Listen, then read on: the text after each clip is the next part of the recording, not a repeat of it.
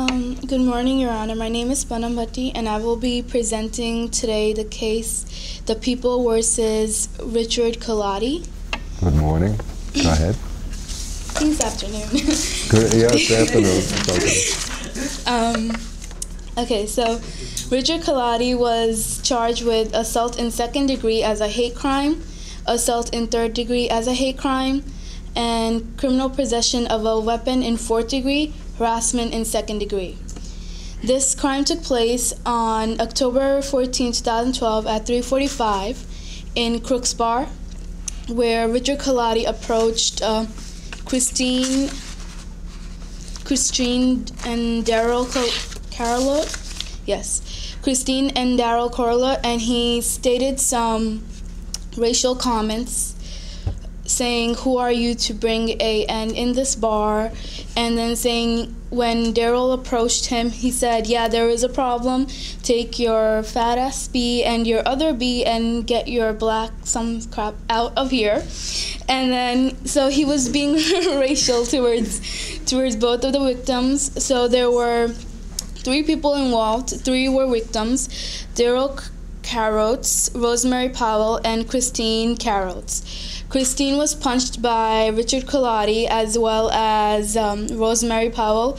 When they were exiting the bar, all three of them together, Richard came with uh, several people, and Christine and Daryl were held down and punched repeatedly. Then Richard decided to go grab a bottle, a green bottle, and he approached uh, Daryl to hit him with the bottle. He caused a laceration on Daryl's hand, but there was nothing serious done. And yeah, that's about it. okay. So um, his girlfriend fought, but Daryl didn't fight with Richard Kaladi. That's what he said. Yes. Right? And you can see that he was then charged with a superior court information, right? Mm-hmm. That and means he pled guilty. I, I assume, yeah. Do you know what, what what the result was? No, I tried to search it online, but I couldn't find uh-huh. anything. Okay, well, he was he was uh, the superior court information contained contained the charges assault in the second degree, without being a hate crime, which is a Class D felony, and a, an assault in the third degree, a Class A misdemeanor.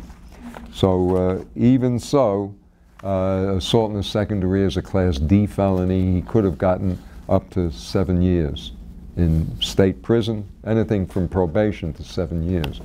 Uh, but it's a violent, and he would be being marked for life as a, as a felony offender, uh, having a felony conviction. This is obviously a plea agreement. Uh, this was done before the case was presented to the grand jury, and uh, he got punished. He probably had no record prior, that's why. Okay, you have any questions? Yes. Um, do you think it benefits, whenever hate crimes come to the court, do you think it benefits them to punish these people by just sending them to jail?